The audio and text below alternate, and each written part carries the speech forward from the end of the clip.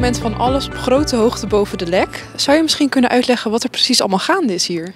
Ja, dat klopt. Uh, we staan hier inderdaad op de, op de dijk in Lekkerkerk. En uh, achter uh, ons zie je de, de hoogspanningsmast met de hoogspanningsverbinding van Tennet.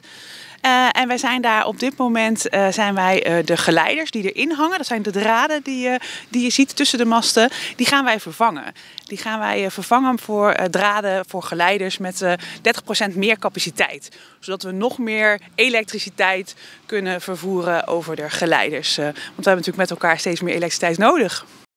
Er hangen nu twee bakjes boven de lek. Wat, hoe doen ze dat precies? Ja, dit, uh, wij noemen dat invaarbakjes.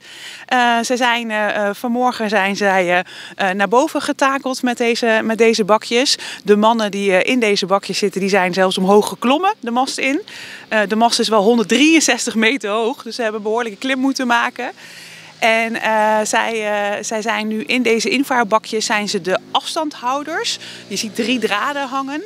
En uh, daar zitten afstandhouders tussen, zodat die, de, de geleiders ook van elkaar afhouden. Die gaan we nu eventjes tijdelijk eruit halen, zodat natuurlijk de nieuwe geleiders straks erin getrokken kunnen worden. De trajectloop van Krimp aan de IJssel tot Geertruidenberg. Uh, hoe lang is het al bezig en hoe lang gaat het nog duren ongeveer voordat dat helemaal vervangen is? Ja, dat klopt. Het is inderdaad uh, over een uh, lengte van 35 kilometer. Dus wij zijn in, het is nu november, in oktober zijn we begonnen. En we hebben aan twee kanten van de masten hangen de geleiders. We kunnen aan één kant werken, want één kant kan uit. Want mensen moeten natuurlijk wel stroom kunnen blijven gebruiken. Dus deze kant is dan nu vanaf oktober tot, tot zeg maar de kerstvakantie een beetje. En dan starten we in januari weer aan de andere kant van de mast. En dat zal tot eind maart zijn, begin april.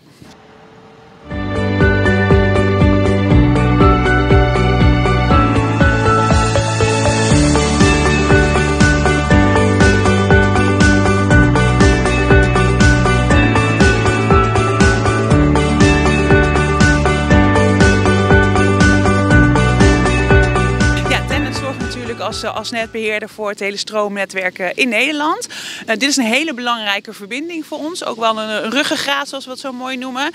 Zeker ook in het zuiden van het land is veel, veel stroom nodig. Hè, in, de, in delen van Brabant en Limburg.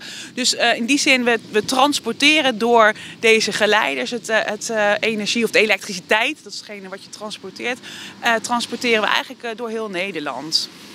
En uh, de mannen die daar bovenin zitten, die hebben geen hoogtevrees, denk ik. Nee, ik denk het ook niet. Uh, tenminste, het is niet aan te raden met dit werk. Dus uh, als ik zie met het relaxheid soms hoe ze daarop zitten, oogt het in ieder geval dat ze met het volste vertrouwen daar op die lijnen aan het werk zijn.